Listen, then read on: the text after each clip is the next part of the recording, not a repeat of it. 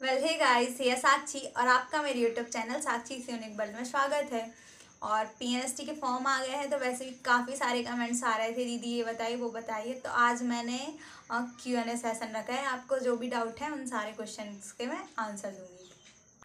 तो सबसे पहले तो मैं आपको ये बता दूँ कि अभी जो पीएनएसटी के फॉर्म आए हैं, उस पर केवल जो ऑटोनोमस कॉलेज होते हैं, वही मेंशन है। और जो डीएचएस डिपार्टमेंट होता है मतलब गवर्नमेंट कॉलेज उसमें अभी मेंशन नहीं है। मे बी आगे चल के हो सकते हैं। तो स्टार्ट करते हैं क्वेश्चन फ़र्स्ट क्वेश्चन है, दी डीएमई कॉलेज में स्टाई फंड मिलती है क्या? तो देखो, सबसे पहली बात तो ये कि जो डीएमई के जो कॉलेज होते हैं मतलब ऑटोनॉमस कॉलेज, वो सेम गवर्नमेंट कॉलेज के जैसे ही होते हैं। बट उनमें जो है जैसे फोर ईयर का कोर्स होता है तो उस पर हर साल ट्वेंटी एट मतलब अट्ठाईस हज़ार रुपये जमा करने होते हैं। इसके साथ साथ ड्रेस वगैरह, इन सभी का खर्च भी हमें उठाना होता है। और रही बात स्थायी फंड की तो जैसे गवर्नमेंट कॉलेज में स्थायी फंड मिलती है, वैसे ही डीएमई मतलब कि ऑटोनोमस कॉलेज में भी स्टाई फंड मिलती है। तो गवर्नमेंट कॉलेज में साढ़े तीन हज़ार रुपये पर मंथ आती है ऑटोनॉमस कॉलेज में भी साढ़े तीन हज़ार रुपये पर मंथ स्टाइफंड आती है। तो फिर अगला क्वेश्चन है चाहत लोधी का। डी एच एस के फॉर्म कब आएँगे? तो देखो डी एच एस के जो फॉर्म है, अभी पी एन एस टी का एग्ज़ाम ही होता है, उसी से डी एच एस में भी सिलेक्शन होता है और डी एम ई में भी होता है। तो वैसे मैंने अपनी मतलब कॉलेज में मैम से पूछा था तो उन्होंने मतलब डायरेक्टली तो बताया नहीं, उन्होंने ये बताया कि हो सकता है जल्दी ही डी एच एस भी मतलब अपना इन्फॉर्मेशन दे दे और जो अभी पी एन एस टी का एग्ज़ाम होने वाला है, उससे गवर्नमेंट कॉलेज भी मिल जाए। मतलब कि जो डी एच एस डिपार्टमेंट है, वहाँ के कॉलेज भी मिल जाए। अगला क्वेश्चन है, वीरेंद्र पटेल। डीएमई की फोर ईयर की फ़ीस कितनी होती है? प्लीज़ बताइए। तो जो डीएमई में मतलब एडमिशन लेता है तो देखो जैसे कि डीएचएस डिपार्टमेंट है, उसको एडमिशन के लिए ओनली पाँच सौ रुपये लगते हैं फाइव हंड्रेड रुपीज़ और जो डीएमई मतलब कि ऑटोनोमस कॉलेज होते हैं, उसे एडमि एडमिशन के टाइम अट्ठाईस हज़ार रुपये लगते हैं. इसके अलावा भी और खर्च होते हैं ड्रेस बुक्स इन सबको मिला के मतलब काफ़ी आ जाता है, पर डीएमई में एडमिशन टाइम ओनली अट्ठाईस हज़ार रुपये लगते हैं.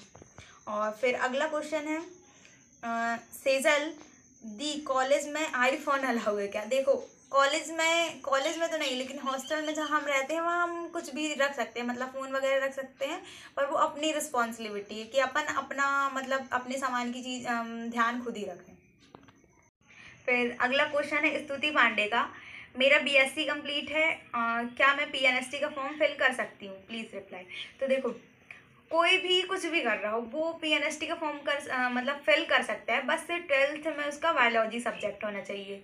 और जैसे बीएससी में किसी ने एडमिशन ले रखा होगा तो वो भी फॉर्म फिल कर सकता है। अगर वो पास हो जाता है इस एग्ज़ाम को वो पास कर लेता है तो बस उसे अपने उस कॉलेज से टीसी निकलवा के लानी होगी। उसके बाद वो जो बीएससी का कॉलेज है बीएससी नर्सिंग का जो कॉलेज है गवर्नमेंट कॉलेज या फिर ऑटोनोमस कॉलेज वहाँ एडमिशन ले सकते हैं कोई दिक्कत नहीं आएगी। अगला क्वेश्चन है सपना का। दी रूल बुक में लिखा है कि अट्ठाईस हज़ार रुपये पर ईयर देना होगा। हाँ तो अट्ठाईस हज़ार रुपये देना होगा। उसके साथ साथ ड्रेस वगैरह का भी और भी खर्चा आता है। अगर डीएमई में मतलब ऑटोनोमस कॉलेज में एडमिशन होता है तो। बाकी गवर्नमेंट कॉलेज में एडमिशन होता है तो नहीं देना पड़ता। फिर अगला क्वेश्चन है नम नम अब उनका क्वेश्चन ये है कि दी अगर हॉस्टल में ना रहना हो, क्या रूम से रह सकते हैं? गवर्नमेंट मैं अगर मैरिज हो गई हूँ, जैसे मतलब किसी को गवर्नमेंट कॉलेज मिला है और उनकी शादी हो गई तो वो रूम से रहना चाहते हैं तो नहीं रह सकती।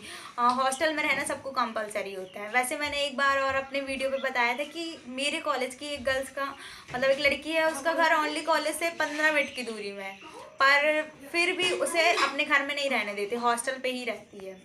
फिर अगला है दी मैं दो हज़ार पाँच की हूँ तो मैं ये फॉर्म अप्लाई कर सकती हूँ। तो देखो तो ये जो फॉर्म है वो 2021 के हैं। मतलब पिछले साल एग्ज़ाम नहीं हुआ था हुआ था लेकिन 2020 वालों का हुआ था क्योंकि कोरोना के कारण लेट हो गया है। तो 2021 में जो सत्रह ईयर का था ना, वो लोग ये एग्ज़ाम दे सकते हैं। तो एग्ज़ाम देने के लिए जो एज है वो दो, एक अक्टूबर 2004 इसके ऊपर के जितने भी लोग हैं, सारे लोग दे सकते हैं। 2004 से जो भी नीचे के हैं, वो ये एग्ज़ाम नहीं दे सकते। फिर अगला क्वेश्चन है कि गवर्नमेंट कॉलेज की पीएनएसटी एग्ज़ाम कब तक होगी? होगी या नहीं होगी? तो जो गवर्नमेंट कॉलेज की पीएनएसटी एग्ज़ाम है, देखो पीएनएसटी का एग्ज़ाम अभी मैंने थोड़ी देर पहले बताया कि डीएमई का आया हो सकता है कि इसी में डीएचएस का भी हो जाए और दोनों कॉलेज इसी से मिले। आ, फिर अगला क्वेश्चन है। दी प्लीज़ बताएँ कि एक मंथ पढ़ाई करके पी एस एग्ज़ाम निकाल सकते क्या? देखो जिसका ट्वेल्थ हुआ है करंट में और यदि वो इलेवन ट्वेल्थ की एन बुक सारी कंप्लीट कर लेते हैं तो आराम से निकाल सकते हैं। फिर अगला क्वेश्चन है डीएमए कॉलेज में स्टाई फंड मिलती है क्या? हाँ मिलती है। सेम गवर्नमेंट के जैसे ही डीएमए में भी मिलती है। फिर अगला दीदी इसमें इलेवन ट्वेल्थ का कंप्लीट सिलेबस आता है क्या? देखो, इलेवन ट्वेल्थ में जितना भी मतलब जितने भी चैप्टर्स सारे नहीं आते कुछ कुछ चैप्टर्स कट जाते हैं, बाकी ऑलमोस्ट सारे चैप्टर्स आते हैं इलेवन ट्वेल्थ के। और जिसने इलेवन ट्वेल्थ पढ़ ली तो वो ईजिली इस एग्ज़ाम को क्रैक कर सकते फिर अगला क्वेश्चन है दी इस बार तो अट्ठाईस हज़ार फ़ीस लगेगी तो हम अपने स्थायी फंड से कैसे मैनेज करेंगे? देखो स्टार्टिंग में जब आपका एडमिशन होगा तो पैसे तो आपको देने ही पड़ेंगे। और जो स्थायी फंड होती है, वो एडमिशन के जस्ट बाद नहीं आने लगती। स्थायी फंड कम से कम पाँच छः मंथ के बाद ही आती है। फिर अगला क्वेश्चन जो है मिताली का दी एंट्रेंस एग्ज़ाम हर साल होता है नेक्स्ट ईयर भी हुआ क्या हाँ ये एग्ज़ाम हर साल होता है, बस जो ट्वेंटी ट्वेंटी का था लॉकडाउन कोरोना के कारण ये लेट हो गया था, उसके कारण से अभी सेशन लेट चल रहा है, बाकी एग्ज़ाम हर साल होता है। फिर अगला क्वेश्चन है, शिवम दी डी एच एस के कॉलेज ऐड होंगे या नहीं होंगे? Maybe D H S के कॉलेज ऐड होंगे। वैसे हम लोग की मैम भी बोल रही थी कि डी एच एस के कॉलेज ऐड होंगे। फिर अगला है, निर्मल पटेल आप डीएचएस के कॉलेज कर रहे हो या डीएमई से? तो मेरा जो डिपार्टमेंट है वो डीएचएस डिपार्टमेंट है। मतलब मेरा जो कॉलेज है वो गवर्नमेंट कॉलेज है। फिर अगला क्वेश्चन जो है वो ड्रीम आर्मी ट्रेनिंग में छुट्टी मिलती है क्या? आपका कॉलेज है उसमें पढ़ाया जाता है या फिर डॉक्टर का काम सिखाया जाता है? तो देखो जो फोर ईयर की ट्रेनिंग होती है, उसमें छुट्टियाँ मिलती हैं। वैसे हमें, हम लोग को तो काफ़ी छुट्टियाँ मिली हैं। एक मंथ की हमें जो समर वेकेशन मिलती है, दिवाली, होली और रक्षाबंधन, इन सब में दस दस दिन की छुट्टी अलग से होती है और मेडिकल की भी दस दिन की छुट्टी होती है। तो काफ़ी छुट्टियाँ हो जाती छुट्टी की टेंशन नहीं रहती। हाँ बाकी इनका क्वेश्चन है कि पढ़ाया जाता है या फिर डॉक्टर का काम सिखाया जाता है? तो सबसे पहली बात तो ये, इसमें सीनियर नर्सिंग ऑफिसर की पोस्ट मिलती है। डॉक्टर नहीं बनते डॉक्टर से छोटी रैंक होती है इसकी।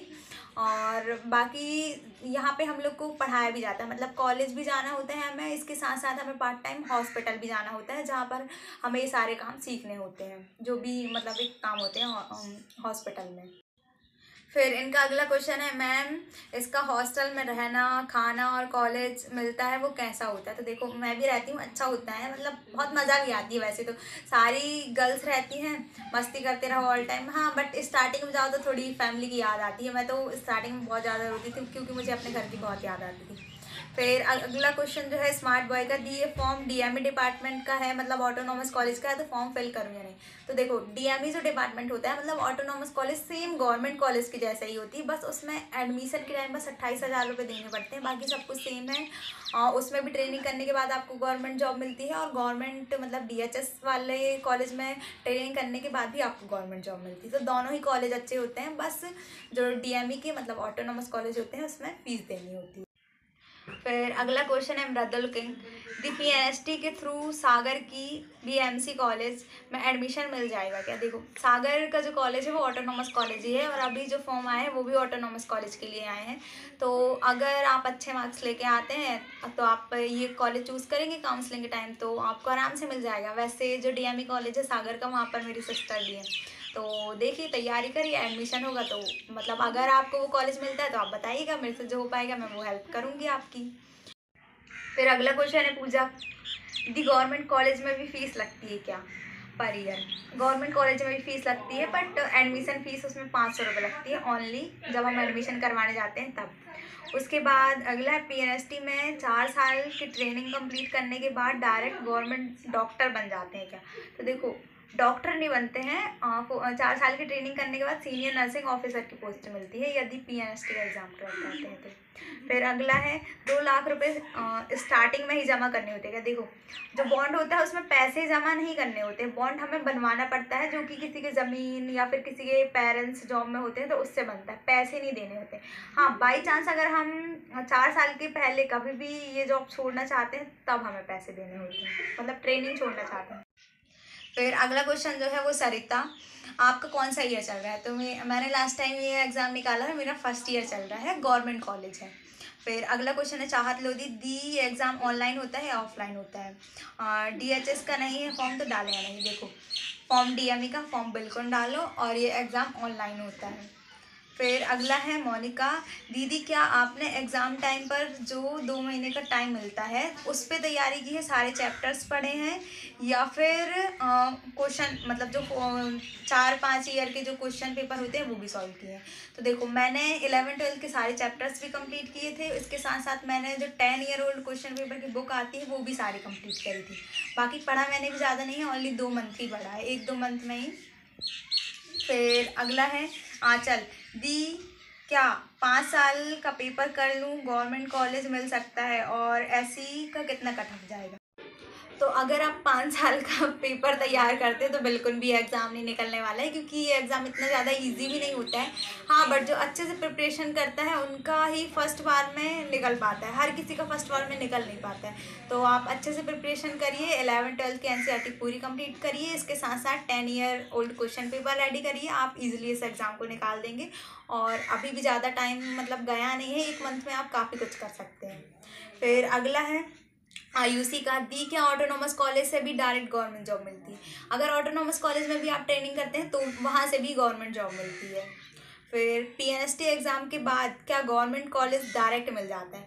गवर्नमेंट कॉलेज डायरेक्ट नहीं मिलता है। पीएनएसटी का एग्ज़ाम होता है, उसके बाद सभी के मार्क्स आते हैं काउंसलिंग होती है। और जिस मतलब जिन भी गर्ल्स के मार्क्स हाई होते हैं, उन लोगों को गवर्नमेंट मिलता है कॉलेज फिर उनसे थोड़ी कम जिसके होते हैं, उन लोग को ऑटोनॉमस कॉलेज मिल जाता है। फिर अगला क्वेश्चन है, नेहा, आपको कॉलेज से बाहर जाने देते हैं क्या? तो देखो कॉलेज से बाहर जाने देते हैं बिल्कुल सैटरडे और संडे को हमारी आउटिंग होती है तो हम लोग जा सकते हैं। जिसको जो भी सामान वगैरह लेना होता है, सब लेके आ जाते हैं।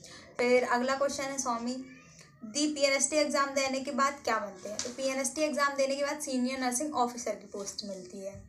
फिर अगला क्वेश्चन है, अंकिता दी एडमिशन के तुरंत बाद स्कॉलरशिप मिलने लगती है क्या? या थोड़ी टाइम बाद मिलती है? देखो एडमिशन तो हमारा हो जाता है। एडमिशन के कम से कम पाँच से छः मंथ बाद ही स्टाइफंड आती है। एडमिशन के तुरंत बाद कुछ भी नहीं आता। बाकी हाँ जिस दिन से हमारा एडमिशन होता है, उसी दिन से हमारी स्टाइफंड काउंट होने लगती है। फिर अगला क्वेश्चन है पीएनएसटी के बाद एग्ज़ाम कहाँ होता है? तो देखो पीएनएसटी का जब हम फॉर्म फिल करने जाते हैं तो वहाँ पे बहुत सारे सेंटर दिए होते हैं।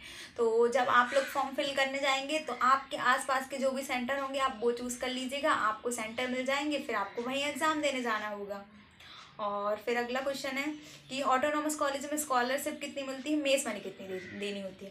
तो गवर्नमेंट कॉलेज हो या ऑटोनॉमस कॉलेज हो, किसी भी कॉलेज में, जो स्कॉलरशिप मतलब दोनों ही कॉलेज में स्कॉलरशिप साढ़े तीन हज़ार रुपये पर मंथ मिलती है और मेस मनी हमारे कॉलेज में दो हज़ार रुपये देनी होती है पर मंथ बाकी सारे कॉलेज में थोड़ी अलग अलग होती है। कहीं बाईस सौ देनी होती है, कहीं अठारह सौ, ऐसा। फिर अगला क्वेश्चन है अनुष्का।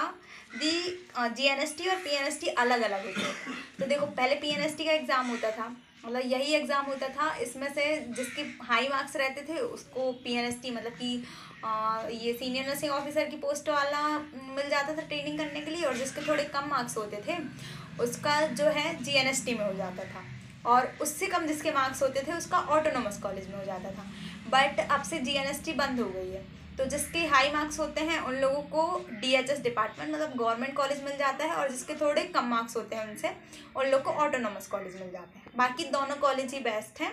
वो फ्रेंड्स ज़्यादा टाइम नहीं मिल पाया तो मैंने इतने ही क्वेश्चन नोट किए थे और इन सभी के मैंने रिप्लाई दे दिए हैं। इसके साथ साथ आप एग्ज़ाम दीजिए और ऑटोनोमस कॉलेज में आपको जो भी कॉलेज मिलता है तो आप बाद में मुझसे कमेंट में पूछ सकते हैं क्योंकि ऑटोनोमस कॉलेज में भी मतलब सागर में भी मे, मेरी सिस्टर है और ग्वालियर कॉलेज में भी है। बाकी रही बात गवर्नमेंट कॉलेज की तो गवर्नमेंट कॉलेज में सारे कॉलेजेस में मतलब एक दो फ्रेंड तो हैं ही मेरी। तो आपको कोई भी हेल्प चाहिए होगी तो आप मुझसे पूछ सकते हैं। और ऐसे ही वीडियो के लिए like like, share and subscribe my YouTube channel.